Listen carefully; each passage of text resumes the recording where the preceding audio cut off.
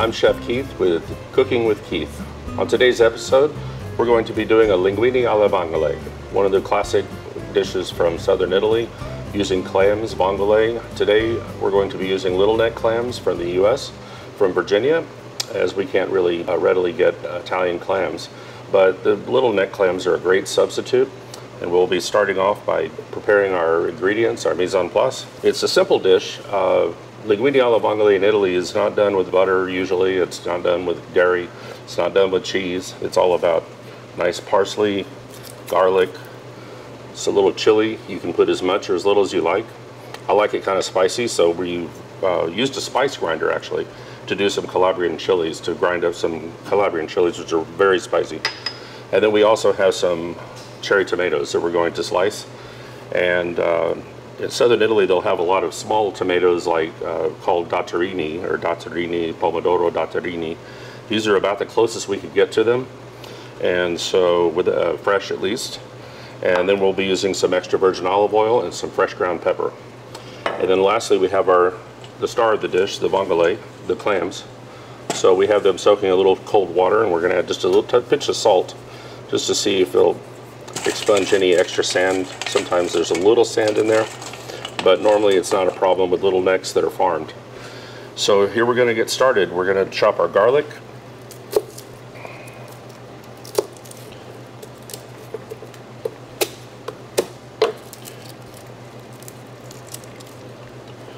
A couple of cloves is great. You just chop the end off the garlic, off that little nub. Give it a little smash. Take it out ready to roll. And we will just use about about two garlic cloves today for this one dish. It's a one. I'm doing a one serving, so 90 grams of dried linguine. And then we have the garlic. We'll put that over here on this plate. We're to chop some parsley. You don't need a whole lot, but a, a good amount is uh, probably a half a cup.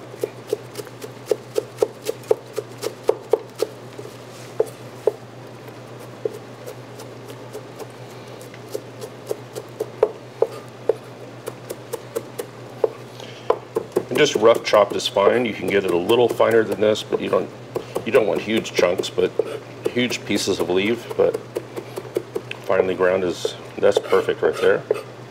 We'll put that in our cazuela there.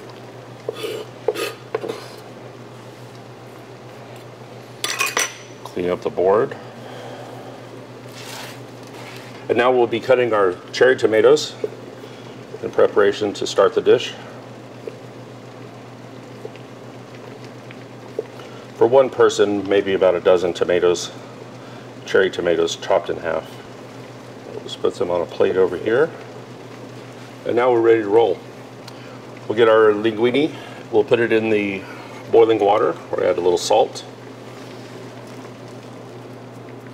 And we'll get our linguine in. It's 90 grams, which is usually sufficient for a nice pasta size. But now, we'll start the preparation. We've got a hot pan. Get the olive oil in. First thing I'm going to put in is the actual clams.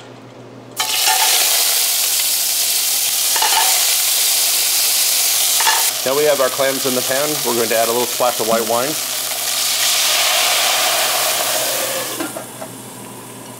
I'm just using some good quality, decent quality Pinot Grigio from Italy.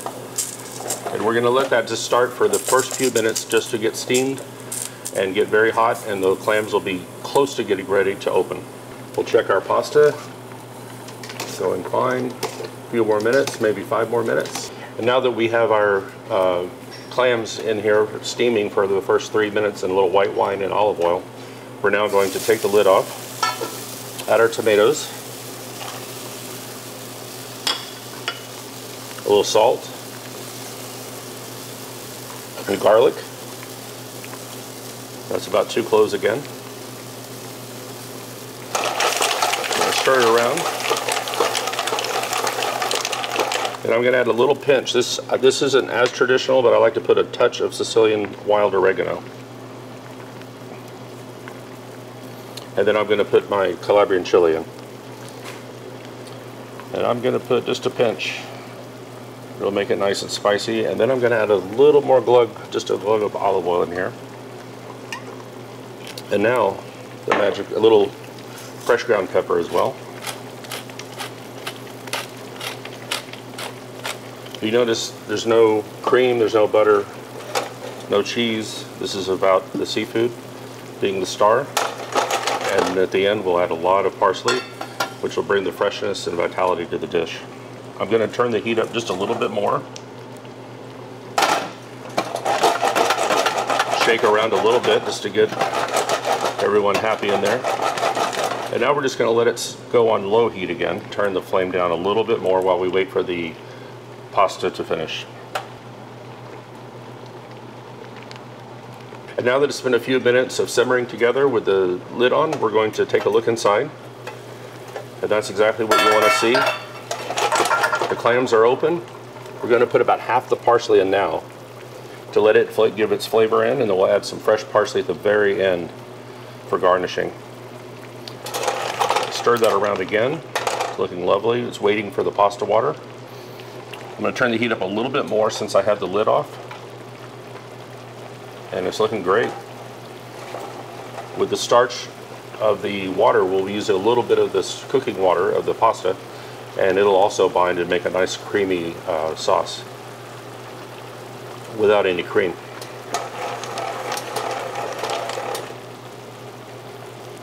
I'm going to turn the heat down just a little bit because I'm going to reach over and get our pasta out.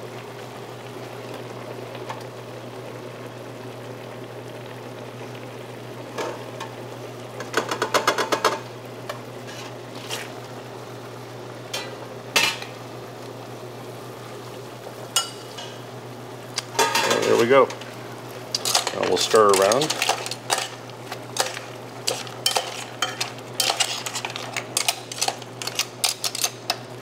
And now we'll put a little of the pasta water in.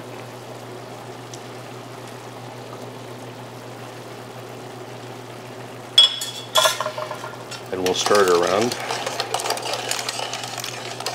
I'm going to turn the heat up to high.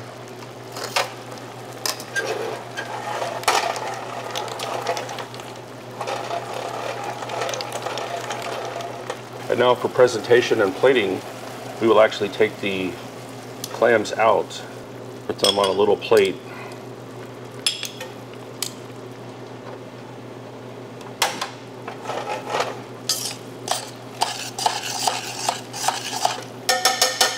And now we'll just simply give the sauce a little taste to make sure everything is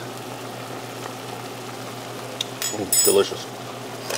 So now we'll turn off our fire and we'll get it into the bowl.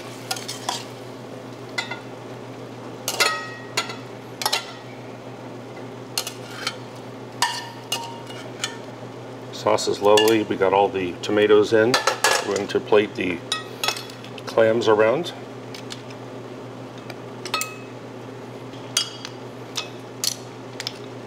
Give this sauce a little bit of a last minute warm up. And we'll pour over. Those lovely flavors from the olive oil, the spices, and the garlic. And then lastly, we'll finish with a shower of fresh parsley.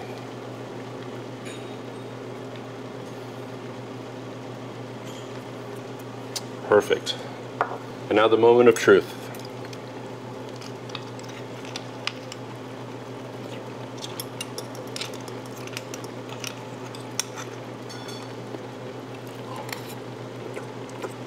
Mm. Very good. It's got the, you can definitely, definitely taste the uh, Calabrian chili. It's piercing through there, but in a good way. I can take it. It's really, really good. The garlic, the parsley, the Calabrian chili, a touch of oregano, the tomatoes, and the parsley. It's just a wonderful combination.